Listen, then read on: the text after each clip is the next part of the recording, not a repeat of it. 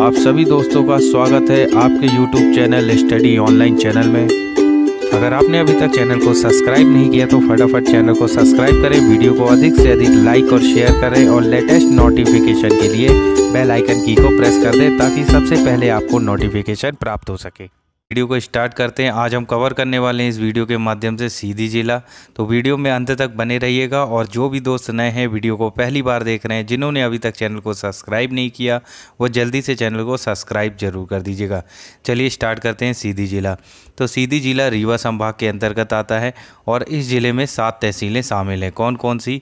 तो गपत बनस, चुरहट, रामपुर, नैकिन, मझोली, सिहवाल और कुसमी आदि तहसीलें सीधी ज़िले के अंतर्गत आती हैं। नेक्स्ट है सीधी का कुल भौगोलिक क्षेत्रफल दस हज़ार पाँच सौ बत्तीस किलोमीटर तक। इसका विस्तार है, ध्यान में रखिएगा कितना? दस हज़ार पाँच सौ बत्तीस किलोमीटर तक सीधी ज़िले का विस्तार है। चलिए नेक्स्ट है, सीधी मध्य प्रदेश के उत्तर पूर्व छोर पर स्थित जिला है। दोस्तों, सीधी जिला मध्य प्रदेश के किस दिशा में है? तो वह उत्तर पूर्व की छोर में स्थित है, ध्यान में रखिएगा। और वर्ष 2011 की जनगणना के अनुसार सीधी ज़िले का साक्षरता दर चौंसठ दशमलव चार प्रतिशत है और सीधी ज़िले का लिंगानुपात एक हज़ार पुरुष पे नौ सौ संतावन महिलाएँ यहाँ पे शामिल है। ध्यान में रखिएगा, अगर हम बात करते हैं भाषाओं की तो यहाँ पर बघेली व हिंदी भाषा बोली जाती है। कौन सी भाषा? बघेली व हिंदी भाषा। ध्यान में रखिएगा। चलिए नेक्स्ट देखते हैं।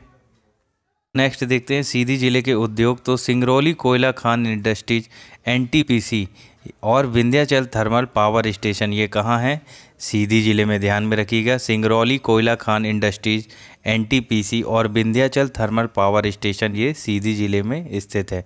चलिए नेक्स्ट है, सोन घड़ियाल अभ्यारण्य शहडोल और सीधी ज़िले की सीमा पर स्थित है। दोस्तों, बहुत इंपॉर्टेंट है नोट कर लीजिएगा, सोन घड़ियाल अभ्यारण्य, ये कहाँ पे है? तो शहडोल और सीधी की सीमा पर स्थित है। चलिए नेक्स्ट है, बगदरा, यहाँ पर कोयला खदान स्थित है। सीधी के बगदरा में कोयला खदान स्थित है। ध्यान में रखिएगा, चलिए नेक्स्ट देखते हैं। नेक्स्ट है, संजय गांधी राष्ट्रीय उद्यान, ये कहाँ पे है? तो यह सीधी ज़िले में स्थित है। दोस्तों, बहुत इंपॉर्टेंट है। ये एग्ज़ाम में कई बार पूछा जा चुका है, संजय गांधी राष्ट्रीय उद्यान किस ज़िले में? मध्य प्रदेश के। तो वह सीधी ज़िले में स्थित है और इस राष्ट्रीय उद्यान को वर्ष 2007 में प्रोजेक्ट टाइगर में सम्मिलित किया गया था। दोस्तों, इसको भी ध्यान में रखिएगा। और वर्तमान समय में इस राष्ट्रीय उद्यान का अधिकांश भाग छत्तीसगढ़ राज्य के कोरिया ज़िले में आता है। ध्यान में रखिएगा। चलिए, नेक्स्ट है, सीधी ज़िले से सोन गोपद और बनास नदियाँ प्रवाहित होती हैं। कौन कौन सी? सोन, गोपद और बनास नदियाँ सीधी ज़िले से प्रवाहित होती हैं। चलिए नेक्स्ट देखते हैं?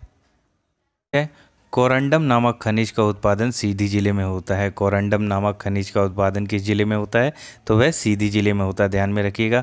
और बात करें सीधी ज़िले के खनिज की तो यहाँ पे चीनी मिट्टी, सिलेमेनाइट और कारंडम आदि पाए जाते हैं। चलिए नेक्स्ट है, सीधी ज़िले के बागवार में जेके सीमेंट और भारत सीमेंट के कारखाने स्थित हैं। सीधी ज़िले के बागवार में जेके सीमेंट प्लांट और भारत सीमेंट के कारखाने स्थित है, ध्यान में रखिएगा। चलिए नेक्स्ट है, सीधी में northern coalfield limited, N N का मुख्यालय, दोस्तों, बहुत इंपॉर्टेंट है। एनसीएल यानी नॉर्दर्न कोलफील्ड लिमिटेड का मुख्यालय कहाँ है? मध्य प्रदेश के किस ज़िले में? तो वह सीधी ज़िले में। चलिए नेक्स्ट देखते हैं।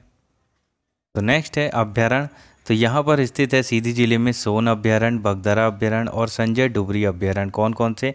तीन अभ्यारण्य है, सोन अभ्यारण्य बगदरा अभ्यारण्य और संजय डुबरी अभ्यारण्य ध्यान में रखिएगा, जिसमें नोट कर लीजिएगा, बगदरा और डुबरी कोयला उत्पादन क्षेत्र भी हैं। दोस्तों, ये बगदरा और डुबरी जो है, वो अभ्यारण्य भी है और यहाँ पे कोयला उत्पादन क्षेत्र भी हैं। चलिए नेक्स्ट है परियोजनाएँ। तो यहाँ पर स्थित है बाण सागर परियोजना, जो किस नदी पे है? सोन नदी पर बने। ध्यान में रखिएगा, सीधी में कौन सी परियोजना? बाण सागर परियोजना और ये किस नदी पर स्थित है? सोन नदी पर चलिए नेक्स्ट देखते हैं। वीडियो को पूरा देखने के लिए धन्यवाद दोस्तों। उम्मीद है आपको वीडियो अच्छा लगा होगा। अगर वीडियो अच्छा लगा तो वीडियो को लाइक और चैनल को सब्सक्राइब ज़रूर कर दीजिएगा और नेक्स्ट नोटिफिकेशन के लिए बेल आइकन की को भी प्रेस कर दीजिएगा। चलिए दोस्तों, मिलते हैं मध्य प्रदेश समान ज्ञान के नेक्स्ट पार्ट में। तब तक के लिए जय हिंद, जय भारत।